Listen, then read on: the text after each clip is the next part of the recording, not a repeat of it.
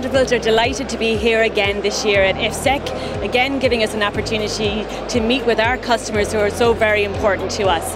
Vanderbilt are showcasing again their access portfolio, their intrusion portfolio, and their CCTV portfolio all about integration this year. We want to show about how we're integrating our access and our, intrusion products.